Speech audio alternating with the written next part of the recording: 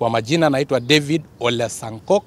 Mimi ni mwakilishi wa bunge la East Africa Legislative Assembly kutoka nchini Kenya. Kama venye mwenyekiti wetu amesema Francine kutoka Rwanda, ya kwamba tulikuwa hapa masomoni ili tuelewe Central Corridor inafanya kazi namna gani na ina serve East Africa eh, namna gani, na sisi tumeridhishwa kabisa na ile kazi ambayo inafanywa na Tanzanian Port Authority kwa sababu tumeona kuna efficiency, kuna uwezo wa kuweza ku, kupata containers eh, mafuta kwa wingi na kuweza kusambaza kwa nchi zote eh, za East African Community na hata eh, eneo lingine la bara la Afrika.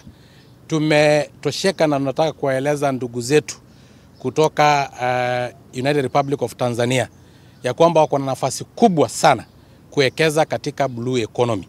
Nyinyi mmebarikiwa sana kuwa na kilomita 1400 ya coastline, muko pia na Lake Tanganyika, muko na Lake Nyasa na yote na Lake Victoria inaweza kuwa na ports ambao itaweza weza kuwezesha uh, kusambaa kwa bidhaa kutoka Europa, kutoka Far East na kutoka Amerikani ili iweze kuzambaa kwa nchi zote za Afrika. Kwa hivyo mimi naweza sema hapa United Republic of Tanzania wakiekeza sana na watafute wataalamu wa blue economy, hii mtakuwa na gold mine ambao hakuna nchi ingine kwa Afrika mzima iko nayo.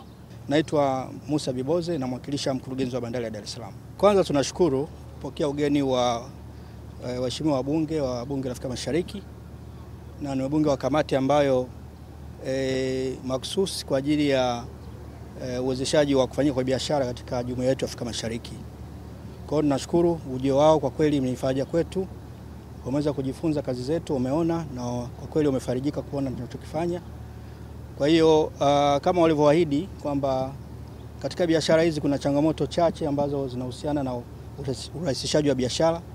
Kwa hiyo kama wabunge wa Afrika Mashariki na jinsi walivyoahidi ni kwamba eh, kwa sababu wanakutana pia na wadau mbalimbali kutana na kujua changamoto za ambazo ziko katika jumuiya yetu za kibiashara, basi waweze kuzifanyia kazi kama zinahitaji kuundua sheria waziundie sheria ili biashara iweze kufanyika katika nchi zetu za Afrika Mashariki. Kwa hiyo sisi kama bandari pia tume, tunaendelea kujipanga kwa maana ya eh, kuhudumia meli kubwa na kuhudumia mzigo zaidi. Mnafahamu kwamba tumekuwa na miradi mikubwa ya uboreshaji wa bandari ikiwepo mradi wa DMGP. Kwa hiyo bandari yetu sasa hivi ina uwezo wa kupokea meli kubwa mpaka meli yenye urefu wa mita 305. Kwa hiyo hudumiaji wa meli kubwa huu huko sambamba na kwamba pia tuna maeneo tumeshaandaa maeneo maalum mapya kwa ajili ya upokeaji wa mizigo hii. Tunayo maeneo ambayo tunayapo tayari kama mamlaka tutaendeleza kwa ajili ya kupokea mizigo mingi na mizigo mikubwa, kurahisisha eh, bandari yetu isiwe, isi, isiwe na misongamano ya mizigo ndani.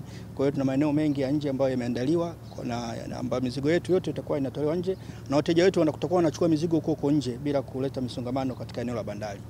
Asante sana. Kama nilivyosema, sisi tunajitahidi kuongeza ufanisi sana, na katika kuongeza ufanisi tumejiwekea malengo kwamba E, mizigo ambayo ya ndani ya nchi tumetoa grace period ya siku tano, yani ndani ya siku tano iwe imetolewa na kuisitiza mizigo isichelewe bandarini. Ndio maana kuna tunasema tunaweka storage ili mtu mwenye mzigo wake ikifika muda huo au ameutoa, kama utaendelea kukaa, maana yake atakuwa anapata chaji zaidi. Kwa hiyo yote ni kumfanya yule mwenye mzigo wake aharakishe kutoa na uweze kutoka, lakini pia kwa nchi za nchi ambazo tunazihudumia kuna nchi kutegemea na nchi tuna mikataba nao mbalimbali. Kuna nchi tuna siku, tuna, tuna siku 30, kuna nchi tuna siku 14, na yote hii ni kwa sababu e, kuweka hizo siku ni kwamba kuharakisha mizigo inatolewa kwa wakati. Kwa hiyo nafikiri sisi tunaendelea kusimamia taratibu ambazo tunazo, tuna bilateral agreements na wa, wa, nchi ambazo tunashirikiana nazo kibiashara ili tusimamie na kuweza kuhakikisha mizigo inatolewa kwa, kwa wakati.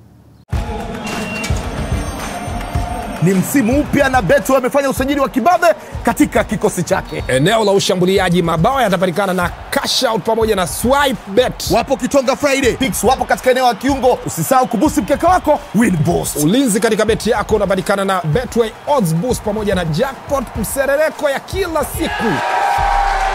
Unapata zaidi na Betway, na hii ni baa kubwa. Hakuna